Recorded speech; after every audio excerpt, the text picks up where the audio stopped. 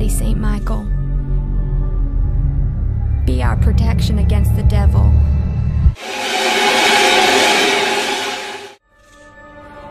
And his shadows that lurk in the dark.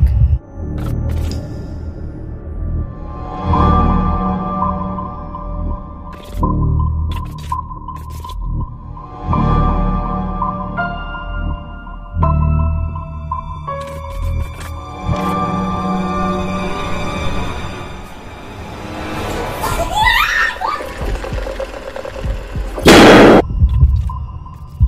Keep us safe in unsafe places.